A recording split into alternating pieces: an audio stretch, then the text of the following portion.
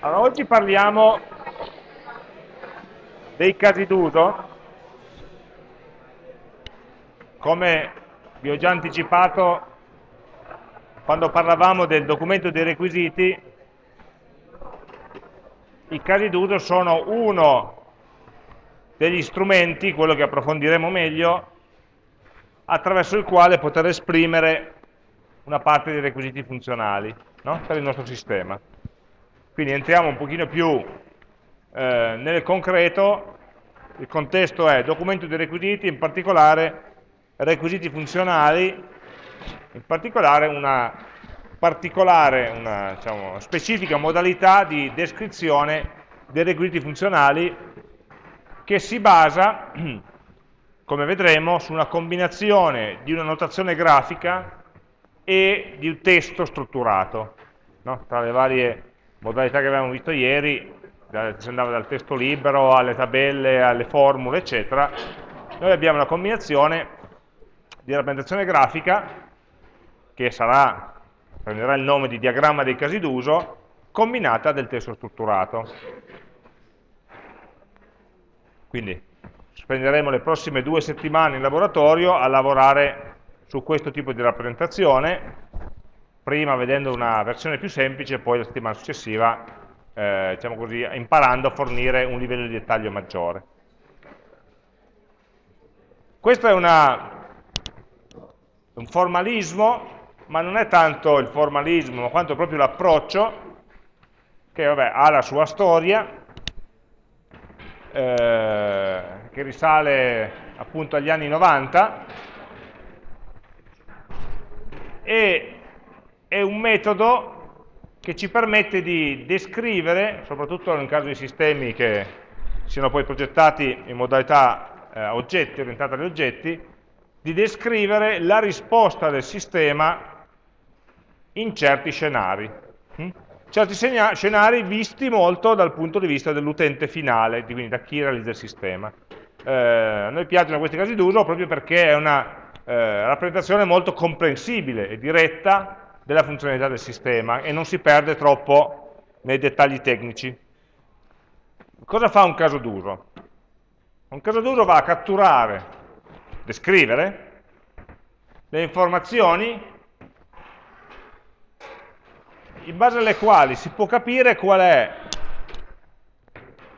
eh, diciamo così, il comportamento che un utente del sistema si aspetta dal sistema stesso. Qui nella slide è indicato come contratto.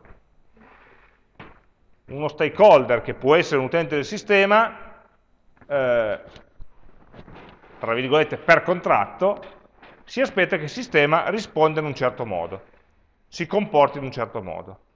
Allora l'insieme di questi comportamenti che il sistema espone fa vedere agli utenti quindi in qualche modo stiamo ignorando i comportamenti interni, cosa fa il suo interno. Ci concentriamo sui comportamenti esterni che coinvolgono l'interazione con l'utente e di solito questa interazione avviene a seguito di una richiesta da parte di un utente del sistema stesso. Eh, quindi qua per la prima volta compare esplicitamente nelle nostre discussioni l'utente del sistema. Diamo un nome finalmente all'utente del sistema. L'avevamo già fatto in parte nei modelli di processo dove avevamo attribuito una responsabilità. No? Questa fase del processo è, responsabilità, facevamo le colonne, le swim lanes per indicare chi era responsabile di portare avanti il processo. Mm, però non avevamo mai ragionato poi effettivamente sulle persone e sui ruoli di queste persone. Perché è, diciamo così, scopo di un livello più dettagliato rispetto al modello di processo, che è questo che ci stiamo prestando a, a studiare. Ehm,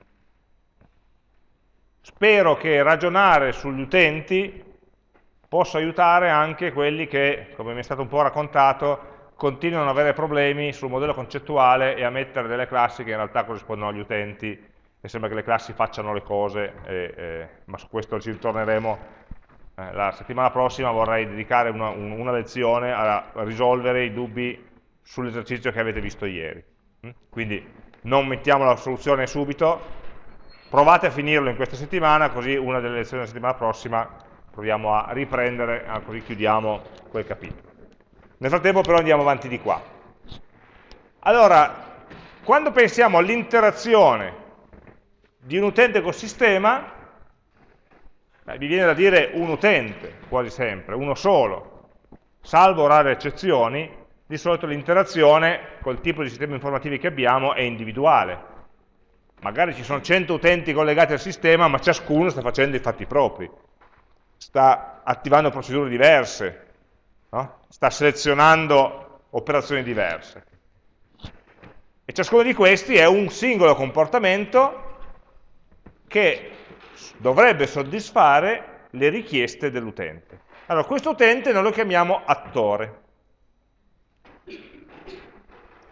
O più precisamente attore principale, primary actor, o attore primario, a volte useremo anche una traduzione così un po' garibaldina, ehm, l'attore principale nel caso in cui ci sia più di un attore effettivamente. Allora, l'attore che cos'è? È, è la tipologia dell'utente che in quel momento sta usando il sistema per svolgere un determinato compito. Quindi se sto pensando al portale della didattica, l'attore può essere studente, o meglio ancora studente iscritto. Non mi importa che si chiami Mario Rossi, perché tutti Mario Rossi e il Paolo Verdi e il Giuseppe Viola, dal punto di vista dell'interazione col sistema, avranno le stesse capacità, potranno richiedere le stesse cose e il sistema tendenzialmente risponderà nello stesso modo. Chiaramente non con gli stessi voti, ma con la stessa sequenza di operazioni e con lo stesso processo da seguire. Ma sullo stesso sistema informativo l'utente che ha ruolo invece di segretario della segreteria studente ha accesso a tutta una serie di funzioni completamente diverse. E l'utente che ha il ruolo, o meglio diciamo così, gioca il ruolo eh, in persona l'attore docente avrà sempre sullo stesso sistema informativo accesso a funzionalità diverse Quindi ogni attore del sistema corrisponde a un gruppo di utenti che hanno ruoli diversi e accesso a funzioni diverse nel sistema. In caso d'uso descrive, partendo dal punto di vista dell'attore principale, come il sistema reagisce quando l'attore principale chiede una certa cosa o desidera compiere un certo una certa funzione. Quindi noi, eh, quando pensiamo a un caso duro, ci mettiamo nei panni di un attore, adesso faccio finta di essere uno studente, adesso faccio finta di essere la segreteria, adesso faccio finta di essere... e così via. Mi pongo nei panni di quell'attore e in particolare mi eh, definisco qual è l'obiettivo specifico, questo goal che è indicato qua, che quell'attore intende perseguire in questo momento specifico. Cioè voglio prenotarmi un esame, sono uno studente voglio prenotarmi un esame. Allora, questa è l'informazione di partenza per poter poi descrivere come si svolge l'interazione tra l'utente e il sistema quando l'utente studente vuole raggiungere l'obiettivo prenotarsi l'esame. E quindi il caso d'uso eh, narra, e vedremo proprio che cercheremo di svilupparlo attraverso una serie di passaggi narrativi, narra come l'utente, l'attore, raggiunge il suo scopo, o meglio, narra come il sistema informativo supporta l'utente nel raggiungimento dello scopo, perché poi noi raccontiamo cosa fa l'utente, ma lo stiamo facendo per descrivere che cosa deve fare il sistema informativo. Mm? Quali sono i requisiti per, sul sistema informativo. Quindi eh, lo, lo, scopo no, di una descrizione con i casi d'uso è quello proprio di descrivere in un certo senso a un dettaglio più fine ciò che avviene in una determinata fase del processo. Quindi noi in qualche modo lo possiamo quasi legare, non in modo 1-1, non sempre in modo 1-1, ma con i vari blocchi del nostro diagramma di processo. Quando a un certo punto il diagramma di processo c'è scritto l'utente si iscrive alla gara, allora quella è una funzione che l'utente corridore vuole portare a termine. Quella è in quel processo, in quell'activity no, del nostro modello di processo, identifichiamo un attore, identifichiamo uno scopo, un obiettivo di quell'attore. Adesso dobbiamo descrivere qual è la risposta del sistema o come il sistema può permettere a quell'attore di eseguire quella funzione. Qual è la modalità di interazione tra utente e sistema. E quindi in qualche modo ci permette di concentrarci sul comportamento, sui requisiti sul, de, eh, che si applicano al comportamento del software, di tipo prettamente funzionale. No? Cosa fa il sistema, cosa deve offrire, quale tipo di interazione deve offrire all'utente. E in qualche modo si lascia scappare anche in caso d'uso certe assunzioni, no? certe ipotesi su come è progettato poi il sistema. Eh, quindi che cosa sono Capaci a fare bene i casi d'uso è raccontare i requisiti comportamentali o funzionali. Ciò che invece non sono in grado di fare molto bene eh, sono le altre interazioni che il sistema ha con tutto ciò che non è l'utente.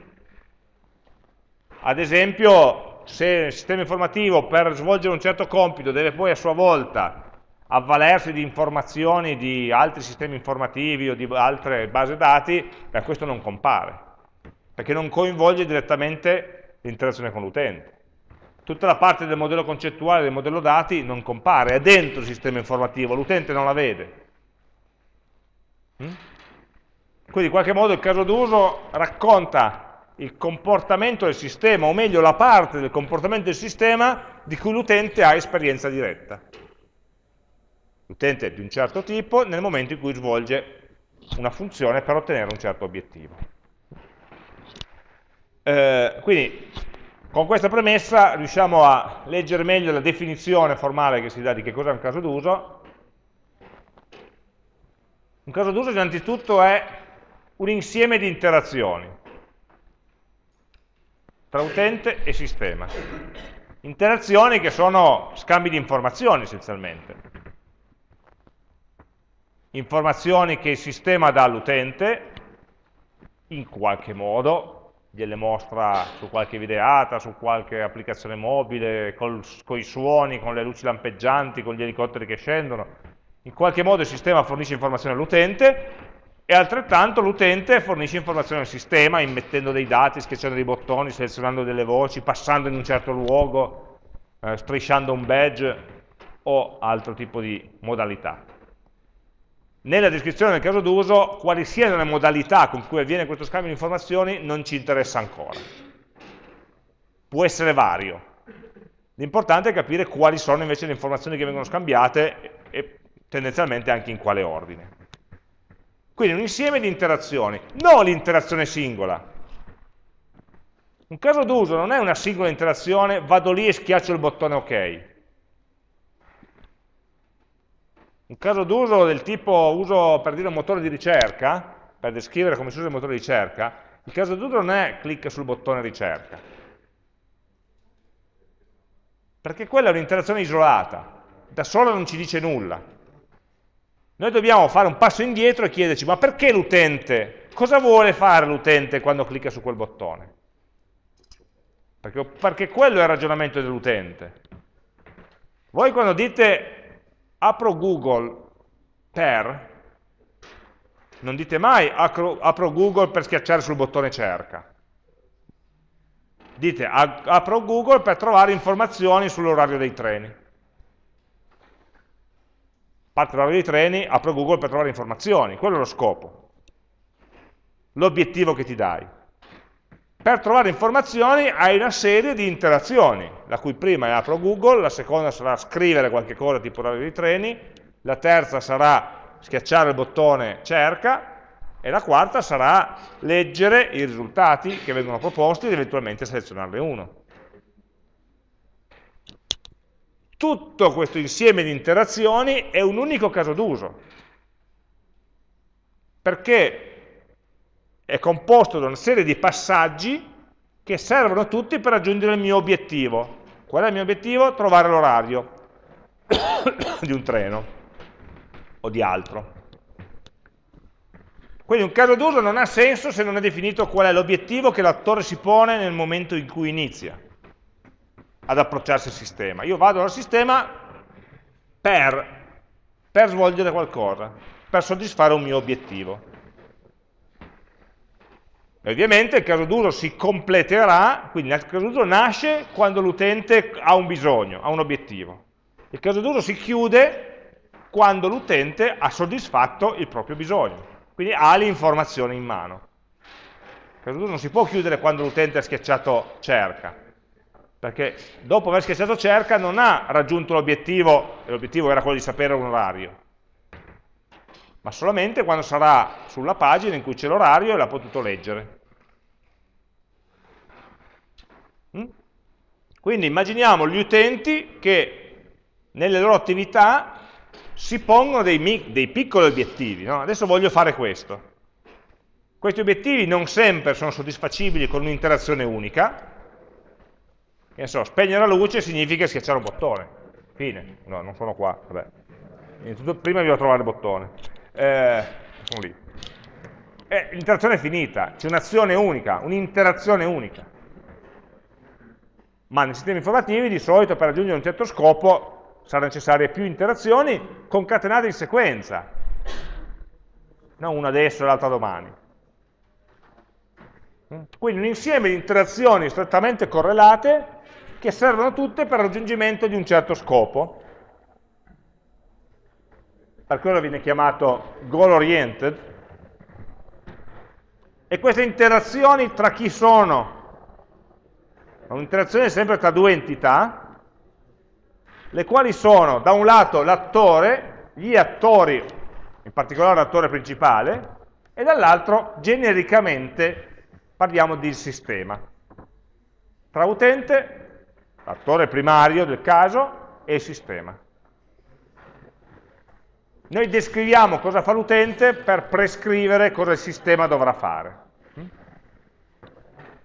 Questo è il punto di vista. Gli ingredienti principali ovviamente sono l'attore, il sistema che dovrà rispondere all'attore e soprattutto l'obiettivo che l'attore si pone. Ogni combinazione obiettivo-attore mi genera un caso d'uso diverso. Quel determinato attore può avere centinaia di obiettivi diversi, ciascun obiettivo sarà soddisfatto da una modalità, da una sequenza di interazioni diversa col sistema, quindi da piccoli percorsi, piccole storielle, piccole narrazioni che sono tutte diverse l'una dall'altra. Ehm, quindi come attore, questo abbiamo già detto, è non parliamo del singolo utente, ma del tipo di utente, della categoria a cui appartiene l'utente, che in questo momento sta interagendo col sistema per raggiungere quell'obiettivo. Dove però anche eh, lo stesso utente potrebbe, in momenti diversi, giocare ruoli diversi.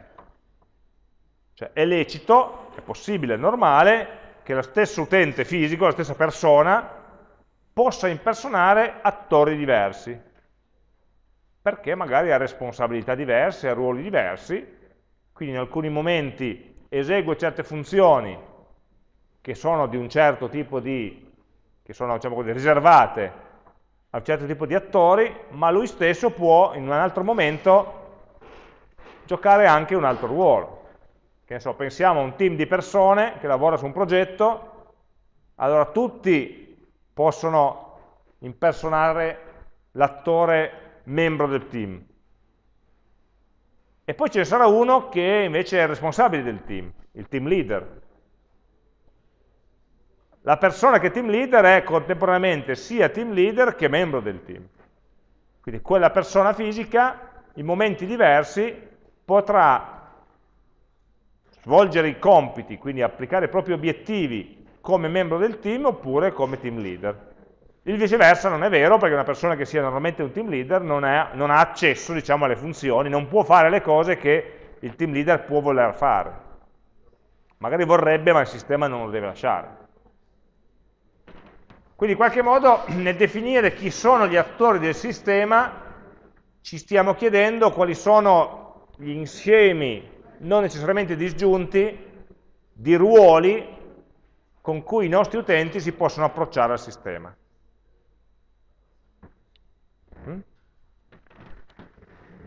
E poi ovviamente le singole persone si caleranno in quel ruolo nei vari, nei vari casi d'uso. Sul sistema, nei casi d'uso dobbiamo, nel descrivere un caso d'uso, dobbiamo astenerci il più possibile dal dire come è fatto o come funziona dentro, non ci interessa, noi dobbiamo catturare l'interazione, quindi l'interfaccia tra l'utente e il sistema. Poi cosa fa il sistema dentro non mi interessa, non lo voglio dire qui. Ovviamente sarà fondamentale poi nelle fasi di progetto successive, ma in fase specifica io devo dire in questa sequenza di interazioni ad ogni passo il sistema che cosa mi fornisce, quale informazione mi fornisce. Mm? E ovviamente l'obiettivo è il motivo, possiamo definire così, come il motivo per cui quell'attore in quel momento ha deciso di usare il sistema. E il motivo non è mai, quasi mai, fine a se stesso. Cioè l'attore non ha come obiettivo quello di usare il sistema. Sarebbe ben triste questa persona eh, a meno che non sia un gioco, ma eh, non è mai l'uso del sistema l'obiettivo in sé, ma è il risultato che si ottiene nell'usare il sistema che è il mio obiettivo. Accendo il computer per, apro quel sito per. Ma questo è l'obiettivo che dobbiamo esprimere, hm, che l'utente deve esprimere. Um, Allora, nel momento in cui l'utente ha un obiettivo, si approccia al sistema,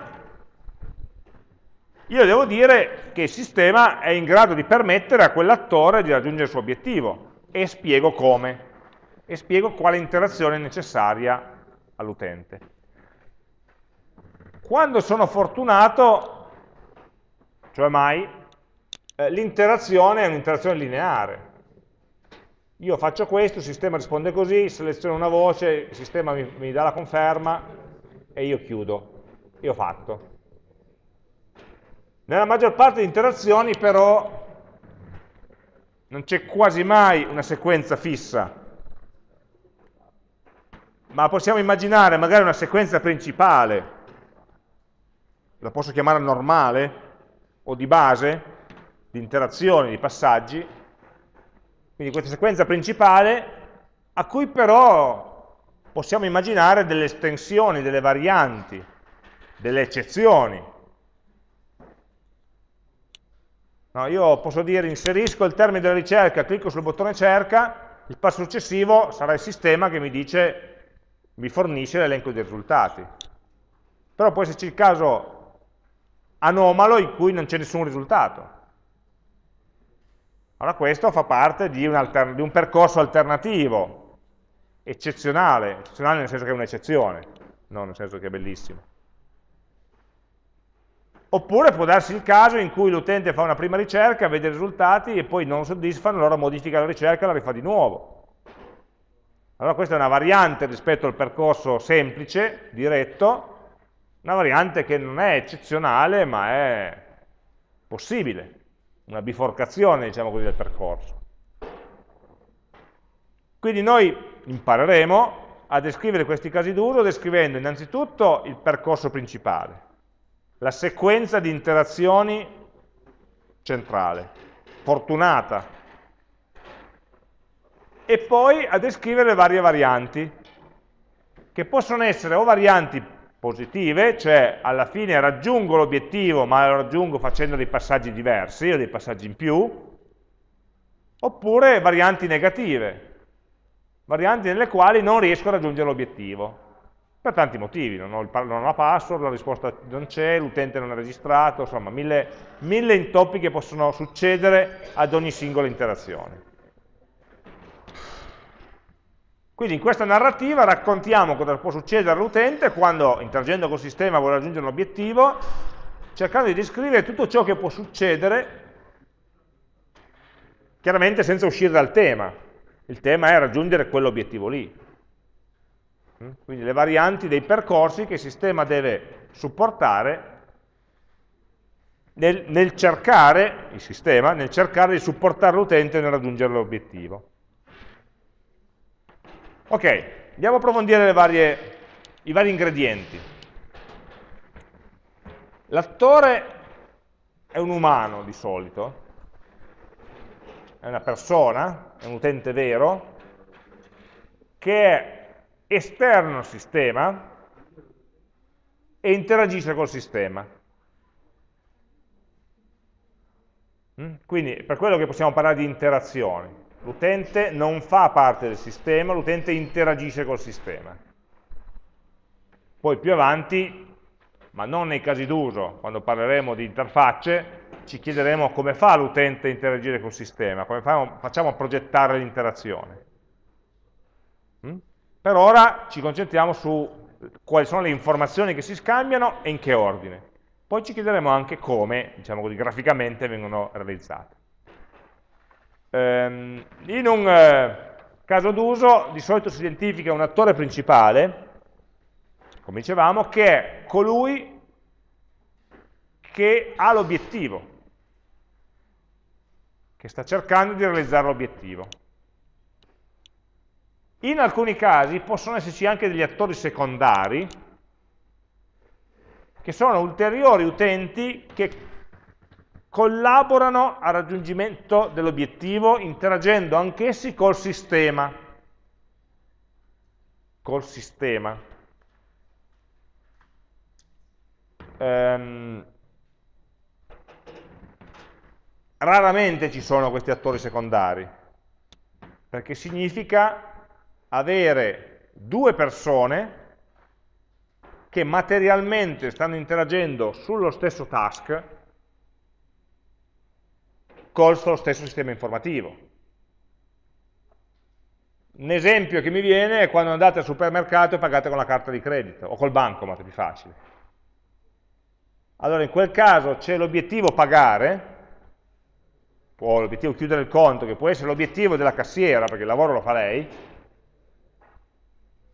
ma se pagate col bancomat a un certo punto voi dovete inserire il PIN. Quindi in quel momento, in quel frangente, siete due persone diverse che stanno interagendo con lo stesso sistema informativo al fine di raggiungere lo stesso obiettivo. Quindi è un unico caso d'uso. Non è scindibile. Se voi ve ne andate a metà senza battere il ping, il caso d'uso è fallito, non è completato, non può chiudersi. Ah no, ma ci penso, lo inserisco dopo. No, non puoi. Quindi questo è un caso, uno dei pochi casi no, in cui siete in due a pigiare i tasti, diciamo così, sullo stesso sistema informativo. Diverso sarebbe se invece, che ne so, l'addetto, l'impiegato, andate, che ne so, aprire un conto corrente online in una banca, andate fisicamente in una banca, aprite, allora l'impiegato carica i vostri dati, vi registra, e poi voi, vi arriva una mail o qualche notifica, vi dovete, dovete confermare la registrazione magari inserendo il vostro codice. Allora, se voi dici, ma è la stessa cosa, perché alla fine in entrambi i casi devo inserire un codice. Sì, ma nel, nel primo caso dobbiamo essere entrambi presenti, in quel caso addirittura nello stesso luogo, e contemporaneamente, devo lavorare, contemporaneamente, congiuntamente per raggiungere l'obiettivo. Nell'altro caso io posso poi andare a casa, mi collego alla casa, inserisco il codice, e quello è un caso d'uso separato. Cioè la registrazione, l'apertura del conto corrente o dell'account è fatta di due fasi. Immaginate il processo. L'impiegato inserisce e carica i dati, poi il sistema informativo invia la notifica all'utente, l'utente conferma inserendo il proprio codice. Sono due attività diverse nel processo. Possono passare minuti, ore, giorni dalla conclusione della prima all'inizio della seconda. Ma in questi minuti, ore giorni voi non avete l'impiegato del, della banca, che era il nostro esempio, che sta col fiato sospeso perché il suo obiettivo non è ancora stato raggiunto. Lui ha chiuso, fine. No? Quell'attività lì è stata chiusa, quindi quel caso d'uso è esaurito, ha raggiunto l'obiettivo. Poi fa, il fatto di raggiungere un obiettivo fa sì che, seguendo l'indicazione del processo, del modello di processo, tu, come altro utente, a questo punto sei tu l'utente primario, l'attore primario di un altro caso d'uso che sarà quello dell'attivazione o conferma di attivazione del conto collegandoti, inserendo il codice, eccetera. Quindi è normale che in un sistema informativo ci siano molti attori che fanno cose diverse. Non è normale, è raro, non è impossibile, è raro che più attori collaborino contemporaneamente nello stesso caso d'uso. Di solito questi attori lavorano ciascuno su casi d'uso diversi, che sono poi coordinati a livello di processo.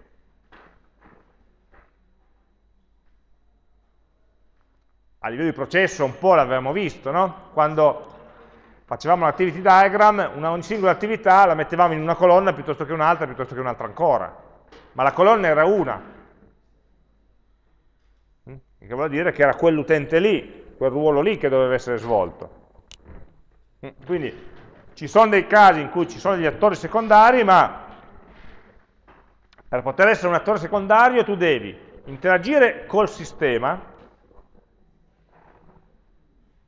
e contribuire a questo obiettivo specifico descritto in questo caso d'uso. Entrambe le condizioni. Quindi se tu interagisci col sistema, ma in un momento separato, e l'attore principale invece riesce a raggiungere l'obiettivo anche senza richiedere il tuo intervento, allora non sei un attore di questo caso 2. Così come se sei lì presente, parli con l'attore primario, lo tocchi, ma non tocchi il sistema, non sei un attore primario, secondario. Facciamo l'esempio del supermercato di prima. Se anziché il bancomat pagassi con la carta di credito, io non sono un attore, perché devo semplicemente mettere una firma su un pezzo di carta. Non sto interagendo col sistema in nessun modo. Sto interagendo con l'attore primario, ma il sistema non lo sa. Il sistema non sa se io ho messo la firma, non l'ho messa, se l'attore primario, la cassiera, ha fatto lei uno scarabocchio, o chissà. Al limite potrà esserci la cassiera che schiaccia un bottone per confermare che io ho firmato. Non so se lo debba fare o no, non ho idea. Ma questa è comunque un'azione fatta dalla cassiera, non dal cliente. Quindi in quel caso il cliente non interagisce con il sistema e quindi non compare come attore. Anche se è lì fisicamente. A meno che vi sarà già capitato di andare in quei posti in cui dovete firmare con la penna elettronica su un display e non sul pezzo di carta. Che so, mi viene in mente l'IKEA, mi sembra che sia fatta così. Perché tu non firmi sul pezzo di carta, ma devi fare la tua firma sul display sensibile al tocco. Allora, in quel caso anche il pagamento con carta di credito interagisce col sistema, perché è il sistema che acquisisce la firma. Allora lì siete attori. Okay? Il criterio è questo.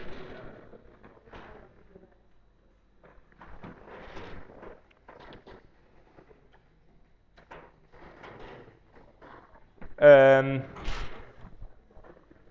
vabbè, questa parte qua... L'attore, dicevamo, deve, o perlomeno si approccia al sistema per raggiungere un certo obiettivo.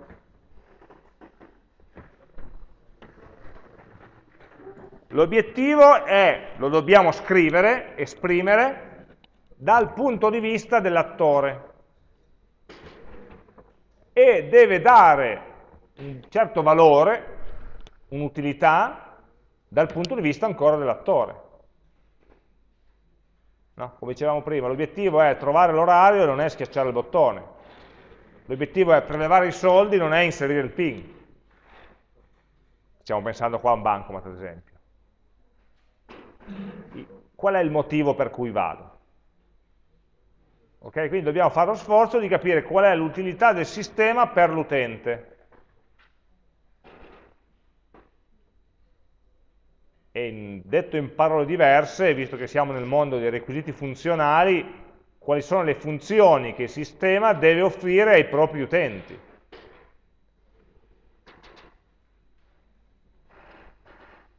ma non le funzioni che il sistema deve avere, punto. Perché se una funzione c'è è perché serve a qualcuno, perché deve servire a qualcuno.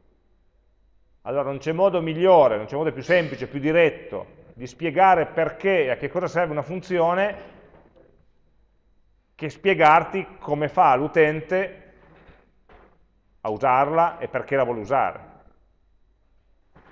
Quindi noi stiamo parlando del sistema, anche se lo facciamo dal punto di vista dell'attore. Stiamo dicendo quella funzione serve perché serve a soddisfare certi obiettivi, certi bisogni miei, di, una, di un sottoinsieme dei miei utenti, cioè quelli che giocano quel ruolo di attore. Quindi lo possiamo sempre esprimere con una frase di questo genere, l'obiettivo del caso d'uso. Nel mio ruolo di studente io voglio iscrivermi all'esame in modo da poterlo sostenere. Mm? Quindi ho un obiettivo vero e so che per raggiungere questo obiettivo devo compiere una certa azione, attivare una certa funzione nel sistema informativo. Funzione che, a cui io avrò accesso perché rientra tra le funzioni che sono state progettate o che stiamo progettando per quel tipo di attore. Ok? Poi, questo è il titolo, se vogliamo, nel caso d'uso. L'obiettivo, la prima riga. Poi andremo a spiegare come. Um, per inciso, nel momento in cui io dico che questo caso d'uso è accessibile a un determinato tipo di utente, sto in qualche modo sottintendendo che il sistema informativo è capace di riconoscere gli utenti l'uno dall'altro. Quando io dico come docente posso registrare gli esami, voglio registrare gli esami in modo da chiudere il verbale, il sistema informativo deve riconoscere che io che sto usando il sistema in questo modo, momento sto giocando il ruolo di docente e ho il diritto di farlo. Quindi tutti i casi d'uso in qualche modo, quasi tutti, in qualche modo presuppongono una certa identificazione dell'utente. Vuol dire che l'utente avrà messo la password, prima, oppure che sta accedendo da un terminale che fisicamente è accessibile solamente a una persona che ha quel ruolo, che ha potuto arrivarci, oppure ci ha messo una chiavetta, mm? oppure aveva un certificato digitale che gli permettesse di... No? oppure sta usando un terminale, insomma, i metodi sono milioni, no, milioni no, ma decine, attraverso i quali il sistema può diciamo, autorizzare l'utente, riconoscere l'utente specifico e quindi sapere quali sono i ruoli che questo utente può avere e di conseguenza quali sono gli obiettivi che gli attori di quel tipo possono perseguire.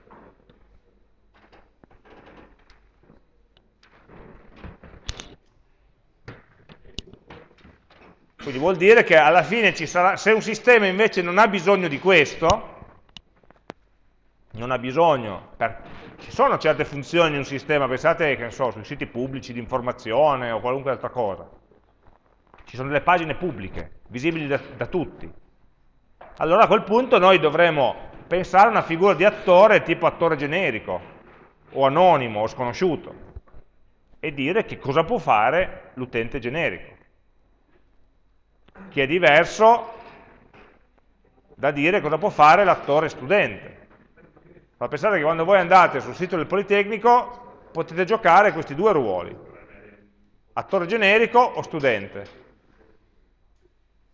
Finché non inserite la password potete fare solamente le cose che l'attore generico può fare.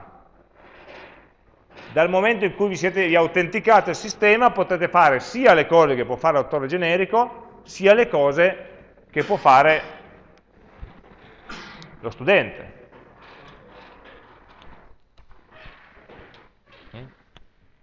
E questo eh, come lo esprimiamo? Beh, cominciamo a darci un po' di notazione grafica per, per aiutarci. Nella nostra rappresentazione UML esiste un diagramma che si chiama diagramma dei casi d'uso, use case diagram. In italiano lo dico al plurale, diagramma dei casi d'uso, perché come vediamo è un diagramma che ci permette di avere un po' un indice, un sinottico, una vista d'insieme di quelli che sono i casi d'uso offerti dal sistema. Poi, per il dettaglio di che cosa fa ciascun caso d'uso, useremo, come vi ho già anticipato, del testo strutturato, quindi lo scriviamo in Word per capirci però la vista d'insieme la possiamo realizzare così. Allora, i due elementi grafici principali che useremo in diagramma di casi d'uso sono l'attore e il caso d'uso.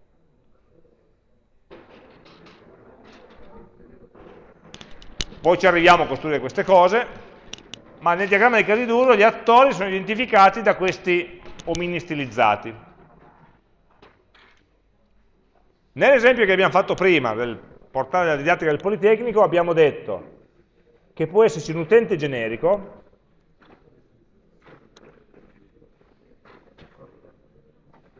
e può esserci un utente studente.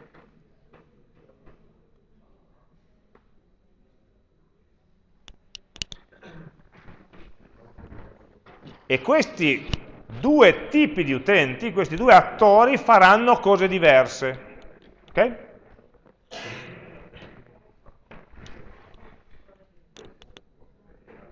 Quindi, senza mettere ancora dei nomi nei casi d'uso, pensiamo di avere due casi d'uso, possiamo pensare che lo studente può svolgere un certo caso d'uso, che ne so, prenotati all'esame, mentre l'utente generico può svolgere qualche altro caso d'uso, che ne so, consulta l'elenco dei corsi. Ma tu come studente puoi anche fare le cose che faceva l'utente generico.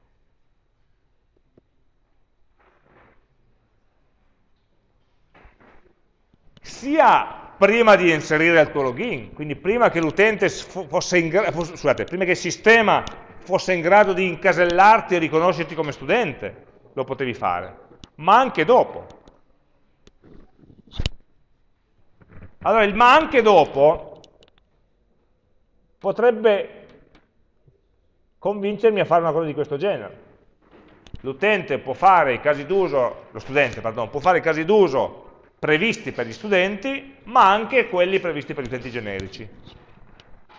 Solo che così è un casino, perché immaginate di avere non due ma 20, vuol dire che tutti quelli di sopra devo anche collegarli all'omino di sotto e se aggiungo un terzo ruolo, che ne so, il docente, anche questo docente potrà fare tutte le cose che può fare l'utente generico, non quelle dello studente ovviamente.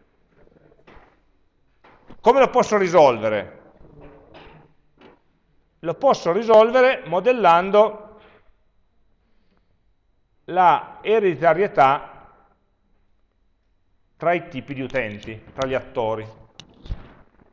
Quindi ricordiamo che la freccia con la punta triangolare vuota l'avevamo già usata nei modelli concettuali per rappresentare una sottoclasse. E qui la riusiamo di nuovo con lo stesso significato. Gli studenti sono un sottoinsieme degli utenti generici. Sono un caso particolare di un utente generico. Sono una restrizione dell'utente generico, sono una sottoclasse dell'utente generico, tutti i modi equivalenti di dire la stessa cosa.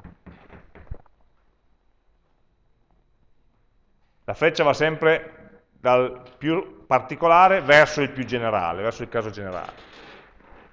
E questo cosa vuol dire? Vuol dire che tutto ciò che l'utente generico ha viene automaticamente ereditato dal ruolo più specifico, dall'attore con ruolo studente.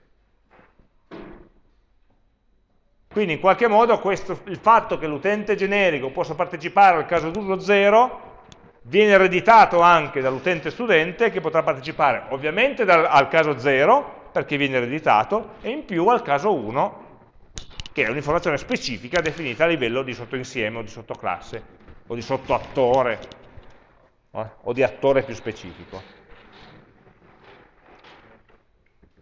Quindi ancora prima ancora prima di definire l'elenco di tutti i casi d'uso, vedere quali relazioni ci sono, il primo passaggio che possiamo fare è di ragionare su quali sono, su quali siano gli attori. Abbiamo l'attore docente, che anche lui è un tipo, ops, è un tipo, quindi uso questa freccia qua, di utente generico. Posso avere il personale della segreteria, allora chiamo un altro attore, segreteria, che anche lui è un tipo di utente generico. In realtà posso fare di meglio, perché il docente e la segreteria hanno qualcosa in comune, che sono entrambi dipendenti. Quindi c'è tutta una parte, che ne so, delle funzioni legate alla didattica, di cui il docente vede certe cose e l'impiegato della segreteria ne vede completamente diverse, può fare cose completamente diverse. Ma io e l'impiegato della segreteria abbiamo in comune che essendo entrambi dipendenti abbiamo accesso, so, a tutta, fatemi dire, agli stipendi, alle informazioni contrattuali, eccetera. La parte di intranet che è riservata a tutti i dipendenti. Allora anche lì questa cosa la possiamo anche strutturare meglio possiamo avere un altro attore generico che è il dipendente,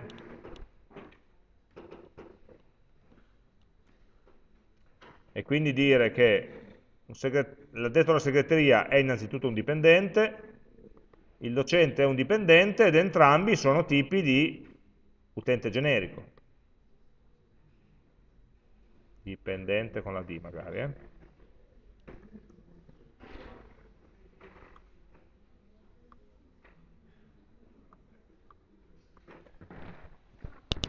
Quindi, quando ragioniamo sugli utenti del sistema, tendenzialmente arriviamo a disegnare degli alberi gerarchici di questo genere.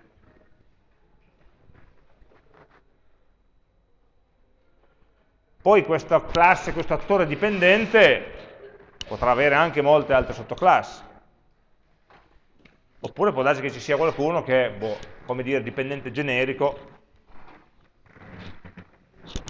e non ha bisogno di specificare un ruolo particolare rispetto al sistema informativo.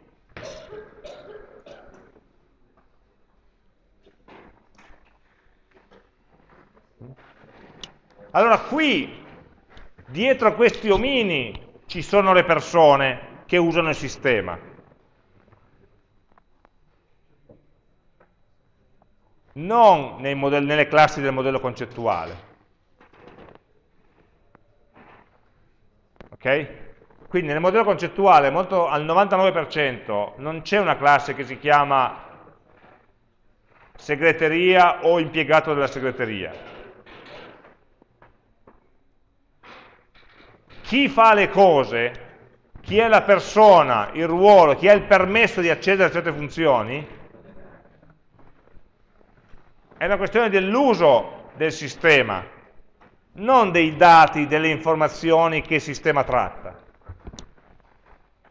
Ok? Quindi cerchiamo, abbiamo uno strumento diverso per rappresentare chi fa che cosa, che non è il modello concettuale. Lo ripeto perché molti continuano a cascare, diciamo così, in quella tipologia di errori.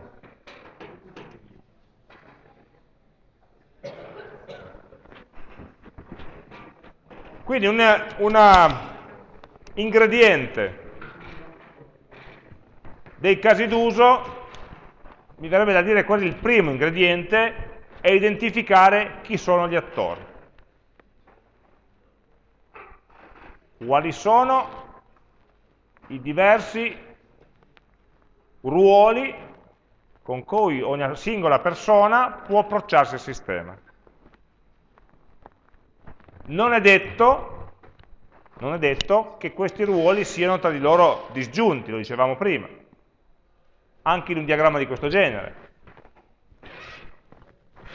Noi abbiamo, sto pensando, delle persone che sono segretari della segreteria studenti che sono iscritti ad alcuni corsi di laurea nostri, quindi sono anche studenti nostri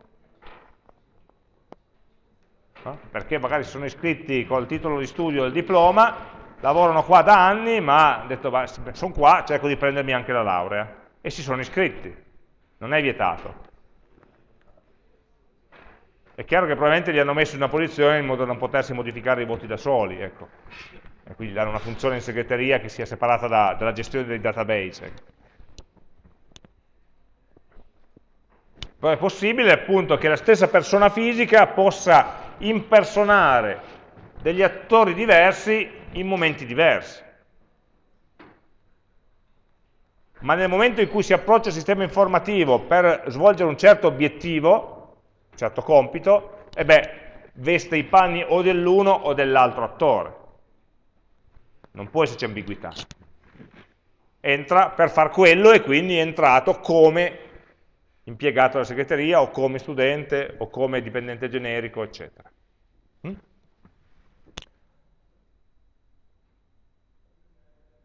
Quindi la prima riga qua è il tipo di attore. Chiediamoci quali sono i tipi di attori.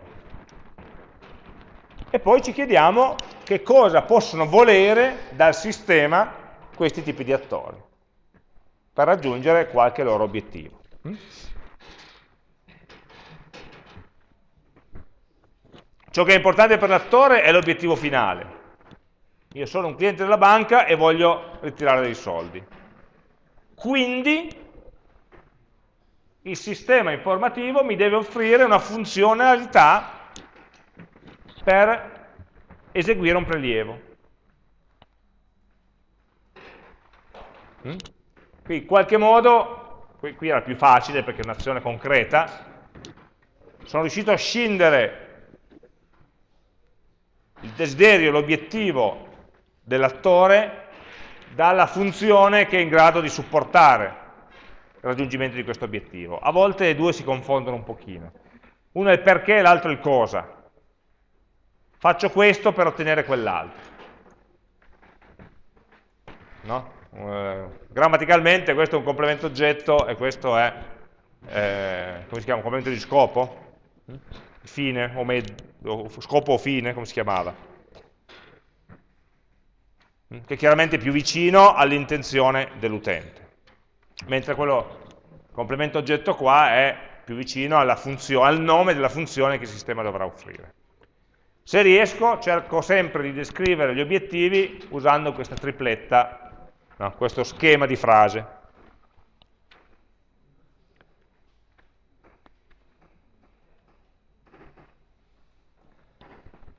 Ehm, poi nella descrizione di un caso d'uso è importante anche identificare non solo chi è l'attore, ma quali sono gli altri eventuali stakeholder interessati al caso d'uso. Cosa vuol dire interessati al caso d'uso? Interessati al fatto che quell'attore possa completare quell'obiettivo. Allora, nell'esempio del pagamento al cassiere, anche pagando in contanti, il cliente è uno stakeholder del caso d'uso, ha l'interesse che il cassiere concluda l'operazione, così può prendere e andare via. Non è un attore, non partecipa, non interagisce col sistema, ma ha un interesse nel corretto svolgimento del caso d'uso. No? Eh, appunto, il concetto di stakeholder è sempre un po' generico, sono tutti portatori di interessi. Tutti gli altri tipi di attori, di utenti, che traggono un beneficio di qualche tipo dal fatto che il caso d'uso si concluda possibilmente correttamente.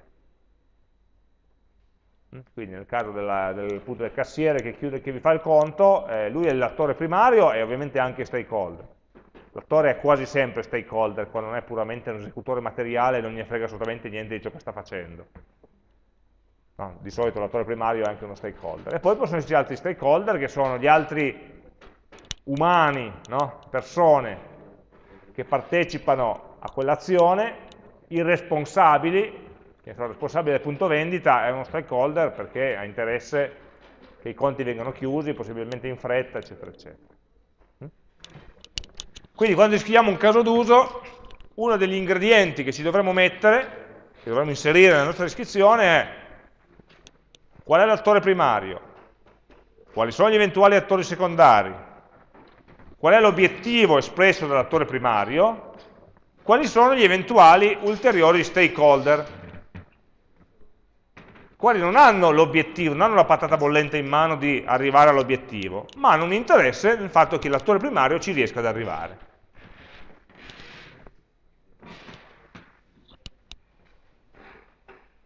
La seconda frase di questa slide qua dice che nel caso d'uso dobbiamo limitarci a descrivere le azioni, i comportamenti che hanno un qualche impatto sulla felicità degli stakeholder. No? Se descriviamo certe, se il sistema deve fare certe cose è perché a qualcuno fa piacere che lo faccia, fa piacere tra virgolette, perché non è magari un piacere personale, ma è un interesse, no? ha interesse che venga fatto.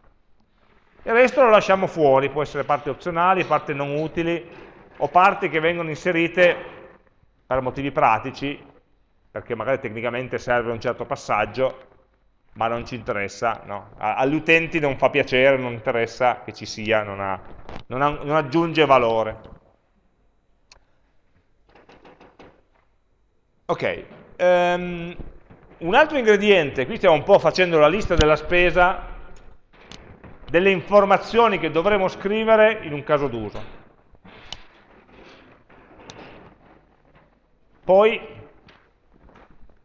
vedremo un, template, un modello, uno schema con cui de poter descrivere queste informazioni, ma prima dobbiamo capire che cosa significano. L'altra cosa essenziale da definire è l'ambito, lo scope.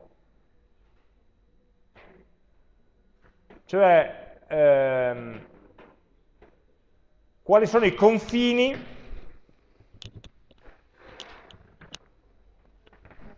dentro cui questo caso d'uso è stato progettato. È un caso d'uso che fa parte del sistema so, di gestione esami.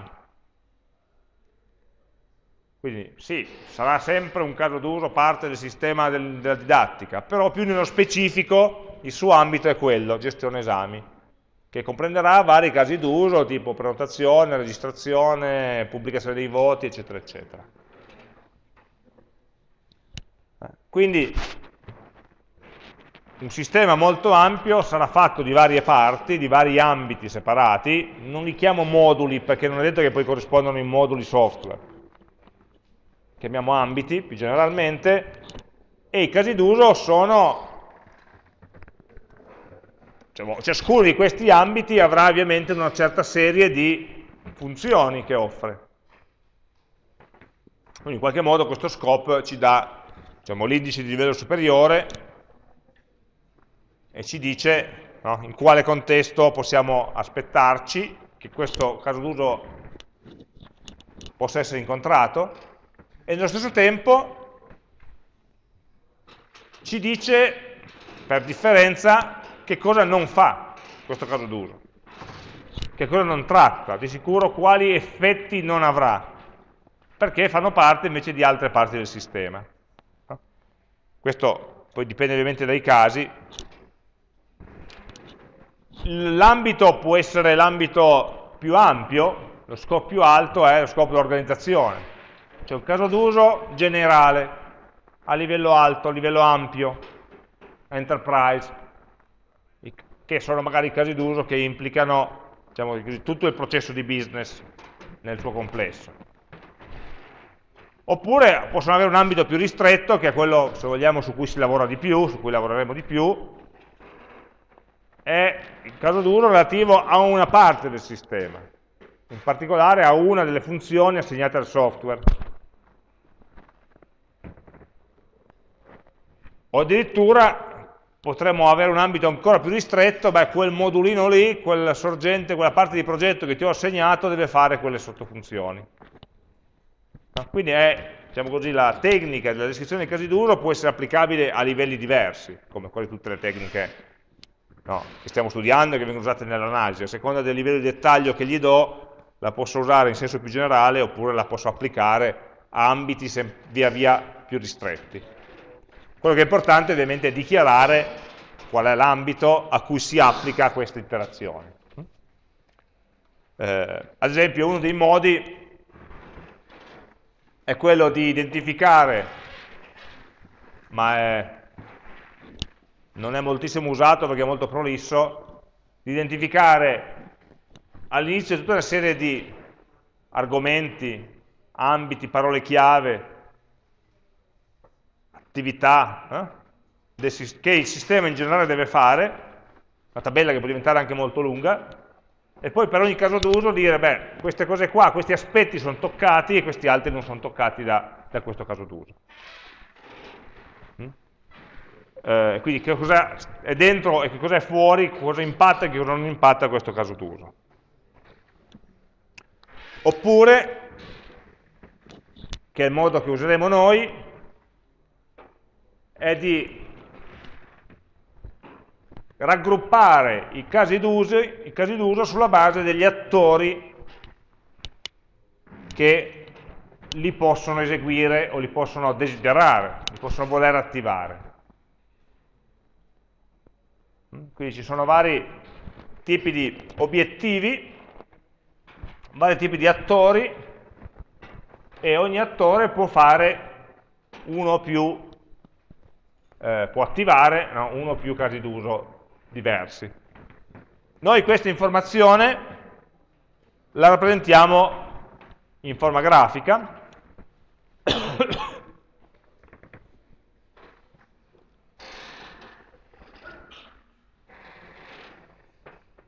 identificando, l'abbiamo già visto, l'omino per indicare il tipo di attore, l'ovale per indicare i casi d'uso supportati, quindi gli obiettivi che l'attore può avere e che il sistema dovrà soddisfare. Quindi io posso a, a, approcciarmi a un sistema bancomat per dire perché voglio prelevare i soldi e quindi farò certe cose o perché voglio vedere il saldo del mio conto corrente, allora farò altre cose, alcuni simili, altre diverse. O perché voglio caricare la mia scheda ricaricabile del telefono, e allora passerò da menu anche completamente diversi in quel caso. O tanti altri casi che, può, che il cliente può voler svolgere quando va al bancomat. A volte come in questo diagramma, un insieme di casi d'uso può essere raggruppato, non è obbligatorio, ma a volte si può fare, raggruppato da una componente, da un rettangolo, no? che etichettiamo col nome di una componente del sistema.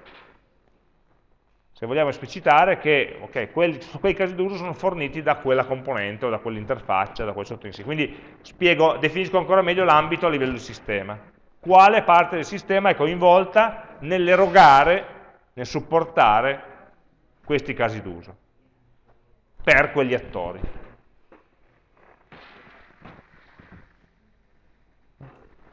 Quindi il diagramma di casi d'uso rappresenta alcune informazioni. Rappresenta l'attore, rappresenta l'obiettivo, anche se in modo molto molto sintetico, sotto forma di nome che scrivo, descrizione che metto nell'ovale, può rappresentare l'ambito, lo scope in cui il, sistema, in cui il caso d'uso si svolge e lo scope è dato da due ingredienti. Uno è l'insieme di attori che possono accedere e due le componenti del sistema all'interno del quale questo diagramma si svolge, è stato collocato.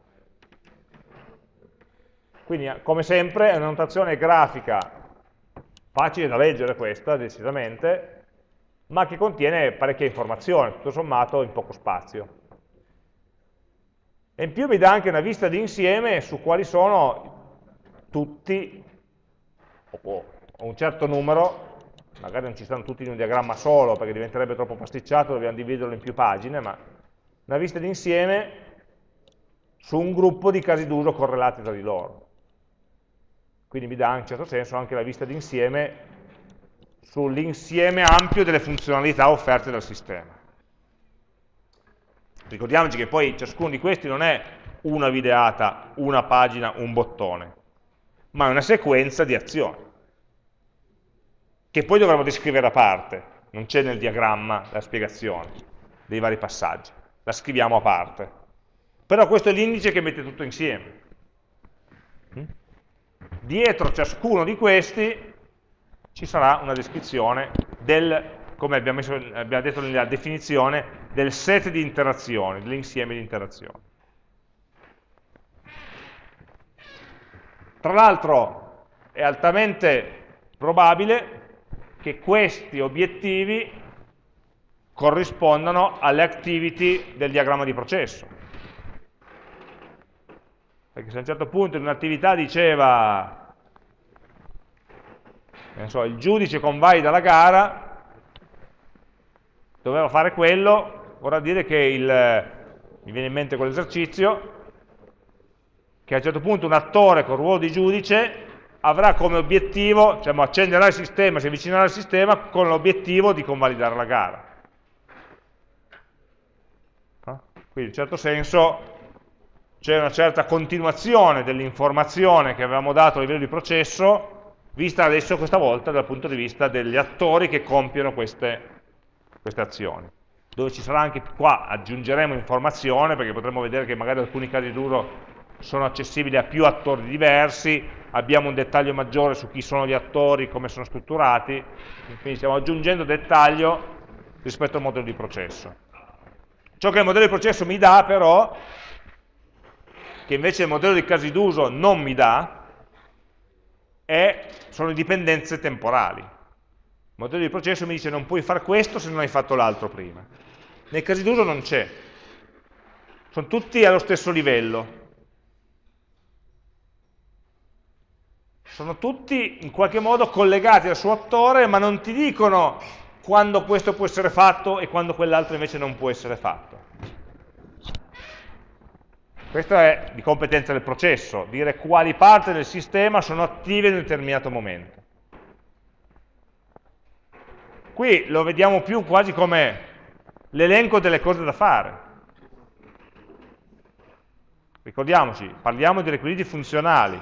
Ogni funzione è implementabile, realizzabile separatamente dalle altre. Devo poter dire, verificare che questa sia stata fatta correttamente in modo indipendente rispetto all'implementazione corretta delle altre. Quindi quando faccio l'elenco delle funzioni, delle funzionalità del sistema, e io sto usando i casi d'uso proprio per rappresentare le funzionalità del sistema, le rappresento nel loro insieme, tutte, e non mi interessa che una funzione sia attivata solamente in un giorno preciso dell'anno, perché deve esserci, devo poterla provare. Poi ovviamente l'utente normale quando si collega non, non, ci può arrivare perché non è proprio quel giorno dell'anno, e va bene. Mm? Quindi qui quando elenco requisiti funzionali li elenco indipendentemente dalle relazioni temporali di processo che avvengono tra di loro.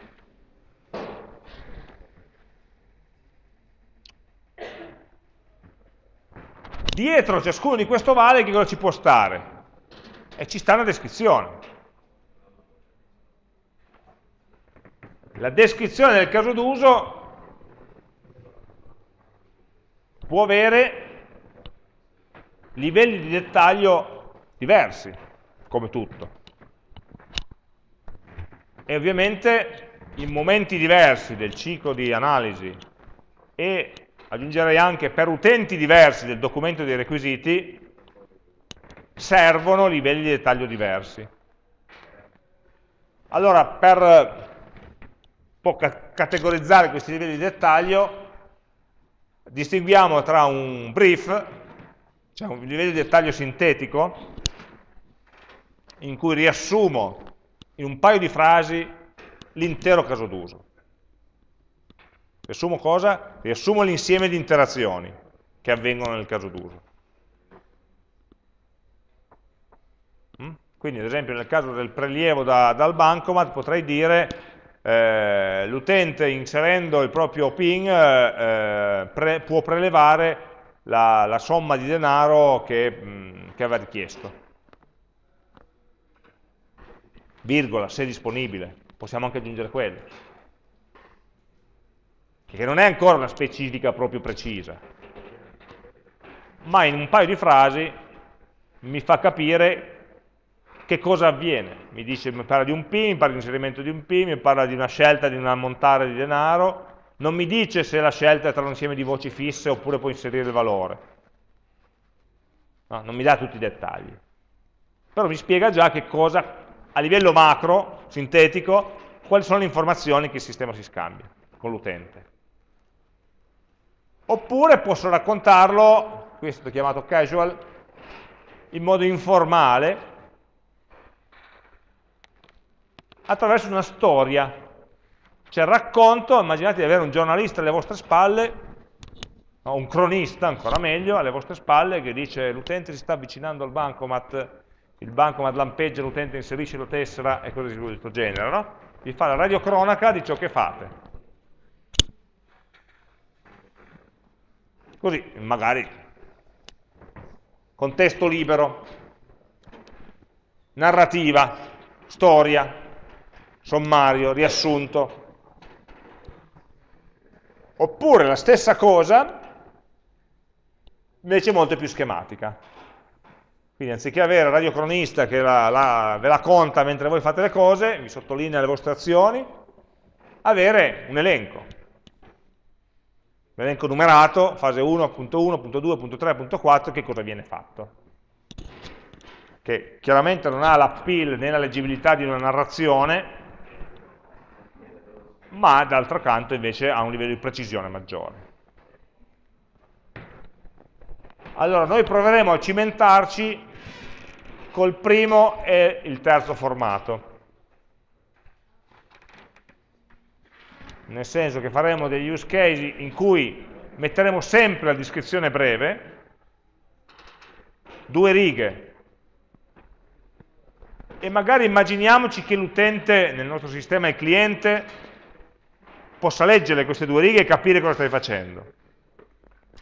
E poi sotto aggiungeremo la descrizione dettagliata.